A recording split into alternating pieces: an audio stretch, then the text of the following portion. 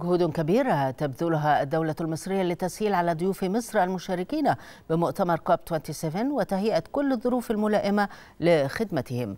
وتقدم الدولة تسهيلات كبيرة للمشاركين في عدة مجالات من بينها النقل الذكي الصديق للبيئة في مدينة شرم الشيخ.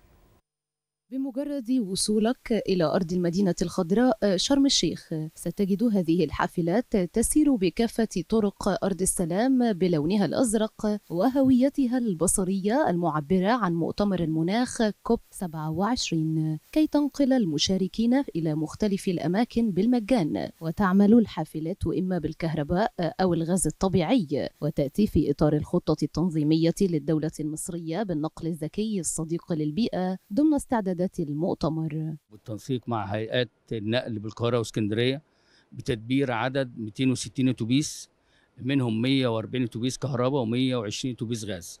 هيئة النقل العام بالقاهرة لها 70 أتوبيس كهرباء ولها 100 أتوبيس غاز.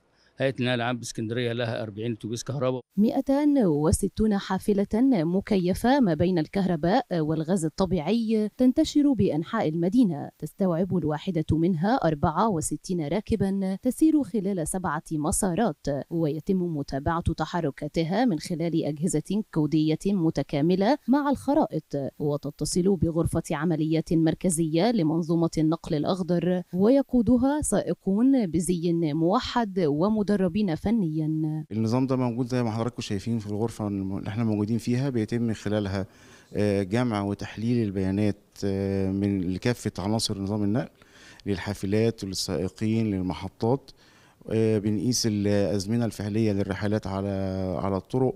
بنشوف أماكن الحافلات موجودة فين الركاب بيركبوا منين وأعدادهم. غرفة العمليات المركزية بالفعل بتتابعنا لأني عندي جهاز هنا متصل بغرفة العمليات فيما بعد هيشتغل تذاكر للمواطنين زائد GPS متابعه طريق زائد إن بالفعل غرفة العمليات متواصلة معنا طول طول اليوم. هذا وخصصت للحافلات محطات للشحن الكهربائي تتسع لشحن 140 اتوبيسا تعمل بالكهرباء وذلك بشواحن سريعة وأخرى متوسطة بالإضافة إلى تقديم الخدمات المكملة كالصيانة والغسيل وغيرها. الحمد لله المشروع متنفذ على مساحة 55 ألف متر مسطح.